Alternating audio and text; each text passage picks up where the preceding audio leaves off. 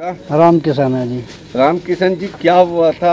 आप लोग घर में थे आपका लड़का क्या कर रहा था? बैठे मेरे दो लड़का है एक मेरा भतीजा और मैं बैठा। हम्म, और आते ही भीतर को आयो गेट में कर लेकर कर पट देसी गोली मारी जब आवाज़ हुई गोली की धुआँ उछटा जब भगे हम एकदम। हम्म, भगदड़ में फिर हमने अपना बेटा देखा नहीं और वह हमने बाहर जाकर रोड पर पकड़ लिया गाड़ी के दौरा हम्म, मेरे भतीजे ने और मैंने दोनों ने। और हमने वो छोड़ा नहीं।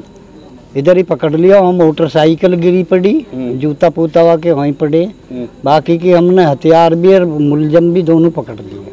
अच्छा अब बाहर बाहर जो भी है वह वाकई गैल के उन्हें तो वही बताएगा हम तो भाई के गुत्था पेंडे में लगे रहे।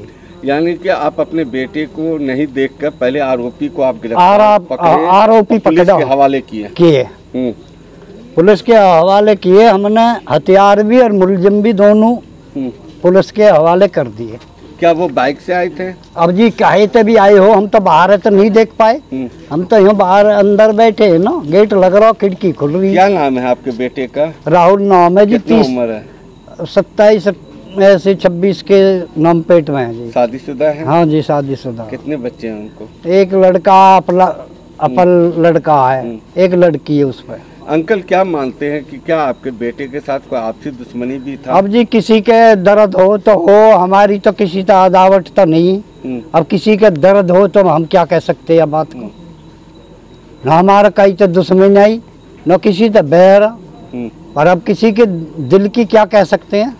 पुलिस को कॉल किसने किया था? पुलिस को कॉल हमारे लड़का ने करी है और ने भी किसी ने करी होंगी बहुत पब्लिक आ गई। हम्म, तो किसी ने किसी ने फ़ोन तो करी ये मैंने अपने लड़कान से भी कही हम्म, पुलिस को कॉल करो। हम्म, मेरा लड़का लेके एक मेरा भतीजा और मेरा लड़का अब उस लड़का लेके चले गया हॉस्पिटल। क्या करता था राहुल? कुछ भी नहीं अपना घर का ही काम करते हैं अपना देखभाल। क्या नाम है आपका? मेरा नाम सुभाष है।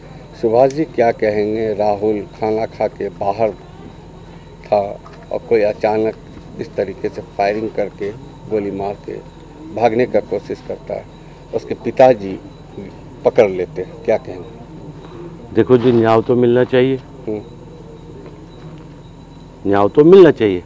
जबकि हम चाचा ताऊ के मेरे ख्याल से अठारह उन्नीस भाई हैं।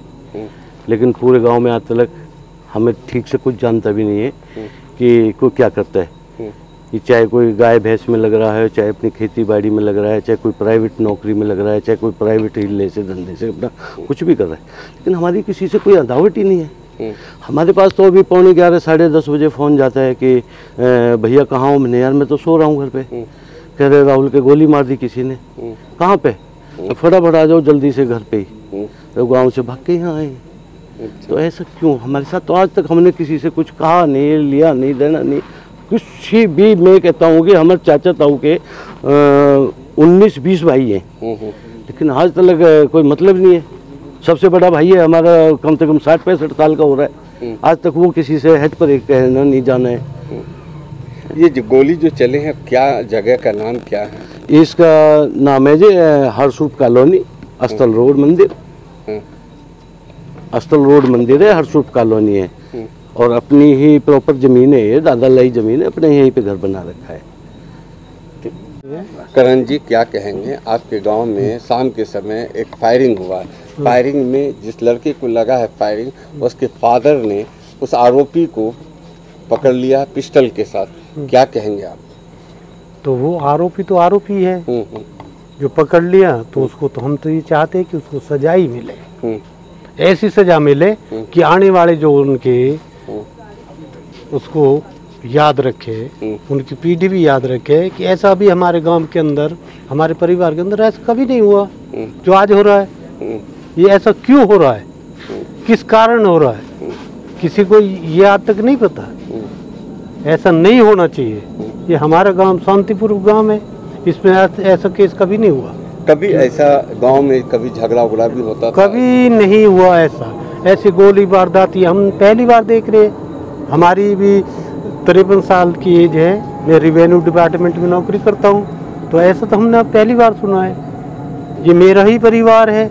मेरा ये चाचा का लड़का है जिसके साथ ये हमें तो अभी ग्यारह बजे करीब ये खबर पड़ी, हम गाँव से भाग का आए जब हमने यहाँ प्रशासन को ये करते हुए देखा, मैंने की कार्रवाई हो रही है और आगे भी होनी चाहिए। मैं तो ये इतना ही बोलना चाहता हूँ, इससे ज़्यादा तो क्या कह सकते? हैं